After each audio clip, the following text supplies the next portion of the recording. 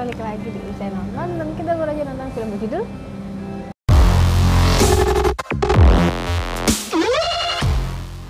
Jai Langkung Sandekala. Oke, langsung aja satu kata Sayang. kurang. Waduh, Kenapa sayang? kecewa semua ya.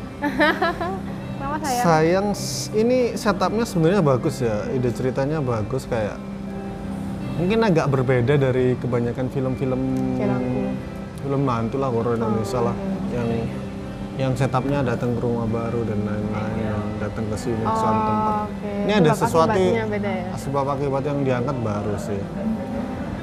Cuman epic di awal dan berakhir dengan eksekusi yang apa sih? Aku merasa gitu sih kayak adegan intens yang mungkin mungkin mau dibikin intens ya ternyata di akhir. Tapi kok oh, kok terlalu bodoh gitu loh kalau menurutku loh ya. Iya. Terlalu Bahkan klise gitu loh. bahkan adegan di mana harusnya takut malah ketawa ini gak sih? Iya, jadinya kayak jadi ketawa, jadi, ketawa tuh juga bukan cuman kita aja tapi Ingin beberapa orang se tokohnya. bioskop tuh Iya, kayak jadi ketawa ya. ayah awalnya ah, ah jadi kayak gitu. Aku Iya, iya. kenapa kurang karena aku karena ini tayangnya setelah Ivana, jadi aku tuh mikir Ya, bahwa ini akan lebih epic ya. Iya, jadi ini Visualnya. prosesnya akan eh ini bak jadi eksekusinya akan Lebih sama bagus. atau Iya. lebih bagus gitu. Tapi ternyata setelah keluar dari bioskop baru sadar kalau ternyata ini syuting duluan daripada Ivana. Jadi kayak awalnya tuh aku kayak wah Kimo nih Ivana kemarin eksekusinya gila sekeren itu. Jadi aku berharap di setup yang mungkin Baru. lebih variasi daripada Ya. Ivana di luar dan tempatnya se-epic itu aku bakal disuguhkan oleh sinematik editing yang wow juga gitu tapi ternyata kurang gitu apalagi ya adalah part-part yang harusnya bisa epic tapi begitu malah takutnya tuh jadi kayak nanggung Iya. Tapi ya Ser takut aku. serba nanggung. Aku nggak takut sama sekali sih. Oh, kamu sempet Emang takut. emang ini masih masih menggunakan ciri khas Kimo ya ada adegan gor-gor ya. Cuman Iya, adegan betul. gor ternyata persis sama satu film. Aduh aku kecewa sih. Iya, Dan dan udah persis sudah udah aku udah oh ini pasti bakal kayak gini dan Ah. aku udah karena kan emang udah dibangun di awal ada ini kan ada portal yang oh iya, iya. itu eh ada apa ada apa eh eh eh, eh. ya kalian pasti bakal tahu dan dan dan ada visual yang benar-benar mirip dengan series yang sangat rame yang udah empat season ya kalian pasti tahu ini Oh, aku yang nggak aku tonton tuh ya? Iya, series yang menggambarkan dua dunia itu Oh, Oke, mungkin terinspirasi. iya tapi kok mirip sekali Oh, Oke. sangat Aku mirip nggak- ya itu ya bahkan aku sudah ya itulah Sayangnya sih. sayangnya eh, mungkin adaptasinya bagus ya Eh, ambil ambil part dari visual itu bagus cuman kok jadinya Semirip kayak itu gitu ya? banget gitu Hmm. sayangnya itu sih Bahkan Ivana tuh banyak. Ivana bagus Keren banget, banget sih dis- eh, eksekusinya ya Aku bahkan ngerasa di Jalangkung ini visualnya tuh beberapa Kurang. terasa eksperimen yang kok Oh, agak aneh. Ini kayak bukan shoot-shoot yang biasa dipakai gitu. Banyak shoot-shoot yang dia tuh kayak wah aku mau nyoba shoot kayak gini ah bagus kayak Nyoba. aku kayak ngerasa ngerasa ada hal-hal kayak gitu dari Kimo yang bener-bener jauh banget dari Ivana. Oh. Maksudnya Ivana tuh eksperimentalnya tuh dalam segi menurut aku ya dalam Dapet segi ya? editing dan tuh se wow sedangkan eksperimental yang di sini tuh jadi kayak ehm, sayang sih kalau ini sayang setelah Ivana gitu ini emang sebelum ya sayang jadi Iya, Ivananya jadi kayak ambles gitu ya. Iya. Dan ini sih emang eh, setting waktu ini agak setting yang rentan ya setting waktu sore ini. Jadi aku ngelihat banget itu editing yang bener-bener maksa sih.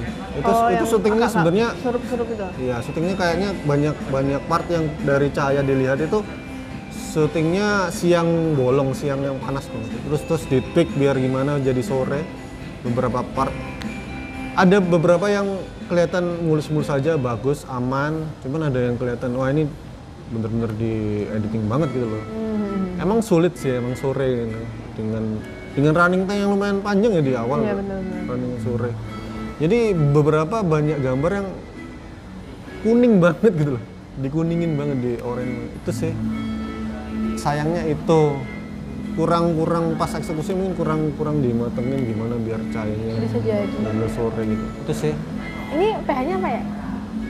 Sky Entertainment, Oh. Sky ada Rapi Film juga asosiasi dan beberapanya banyak sih ya PH-nya asosiasi Oke, kita move ke bagian acting kali ya. Kalau acting gimana? acting ya beberapa ba- malah tokoh bukan tokoh, Tokoh- utama yang bagus Iya. Menurutku Tokoh pendukung? pendukungnya malah bagus loh Si itu ya. si, Si lelaki Cal- membagongkan tuh. Iya lelaki melakukan juga bagus sih Tapi kalau aku nggak nggak nggak ada masalah sih. Acting aku masih yang senyaman itu. aku malah si acting si ibu ini malah aku bermasalah sih waktu Oh. beberapa kali beberapa part ya, kayak kalutnya seorang itu kayak kurang gitu Hmm. apalagi kan ini kan mungkin Kimo mau bikin lebih kalut dengan dia hamil ya Kan itu kayak kurang dapet gitu loh Iya. menurutku Apalagi masa hamil segede itu jatuh nggak ada adegan pendarahan atau Itu kan imajinasi dong. Masa imajinasi? Dia jatuh loh tapi jatuhnya tuh yang aku permasalahin. oh iya iya iya iya iya, hamil gede kayak ya. gitu kan Iya, mungkin jatuh jatuhnya nggak dan imajinasi nggak kenapa-kenapa. kira pendarahan yang kalau gitu itu bukan pendarahan kan, tapi itu kayak air-air horor-horor itu kan. Kan setelah jatuh bangun kayak kayak Iya, aduh iya, iya. aduh atau ngucur-ngucur gitu kayak itu emang hal yang klasik tapi ya emang seperti Harus itu dipikirkan gitu. juga. emang seperti itu. Jadi kan ini sebagai ibu hamil yang sangatlah kuat secara physically oh ya hamilnya gede ya kelihatan banget Ini gede dari banget, visualnya kan gede banget Emang- udah udah lapanan deh. Emang beberapa ada ada logika yang agak aneh sih ya beberapa part. Kayak ini tadi ya spoiler dikit lah ya. Apalagi musik. Aku suka sih sama musik tidak bermasalah ya. membangun sebuah suasana ketegangan di Iya. outdoor itu yang sangat dapat enak ya Mm-mm. ya terus apalagi artistik juga bagus sih artistiknya untuk membangun sebuah Iya, apa ya betul. elemen baru Jailangkungnya tuh beda sih kalau menurutku dan ini tokoh cameo pun mahal loh sebenarnya iya semua dong. tokoh cameo cameo mahal loh ini tokoh pendukung yang- tuh cameo mahal. Hanya muncul lima menit katakanlah tuh kayak Iya, mahal. tokoh utama di film lain guys.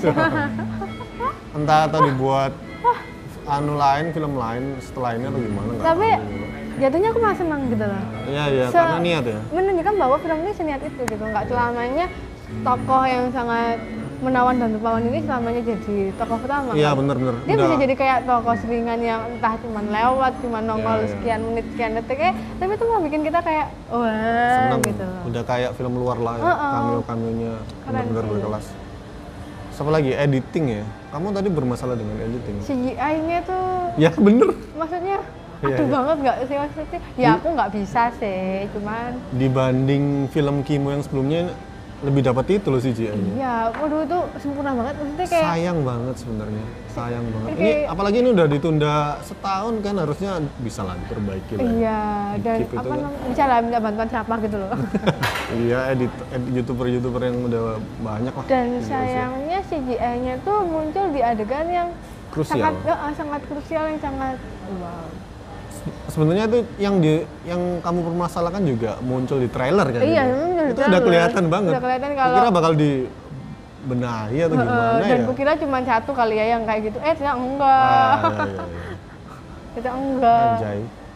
Ya sebenarnya bagus materinya ya, kayak nganu membalikkan badan gitu ya, anggota tubuh itu bagus ngeri sebenarnya cuman Ngeri, cuman jadinya nggak sayang ngeri sayang banget sayang. ngerian Ivana yang nggak ada kepala Iya iya. Dan Iya. aku main-main di kep. Oh, ya, spoiler. Iya main-main. Nah, dan aku cukup apa namanya? Cukup antara awal-awal tuh kayak nyaman tapi kayak lama-lama ini ngapain sih? Ada Iya, ada bener. tokoh komedi di puncak, ada sosok komedi di adegan puncak. Itu kenapa ya? Eh, aku nggak masalah sih untuk memecah tensi. Tapi ya. kayak Dan dia akan, aku tahu maksudnya iya, ini untuk di- endingnya buat di- apa itu iya, kita kita tahu. Tapi kayak apakah sewajib itu ya itu muncul dia ya? Apa emang buat Wajib. memecah suasana ya? Memecah suasana dan dan wajib sih harus asal ada sih. Hmm. untuk menyelamatkan ini. Awalnya lucu tapi lama-lama kayak, duh apa sih ini orang Enggak gitu. sih, Aku sama kayak ngerasa gitu nggak sih. masalah sih. Oh, Emang buat lucu sih. buat lucu.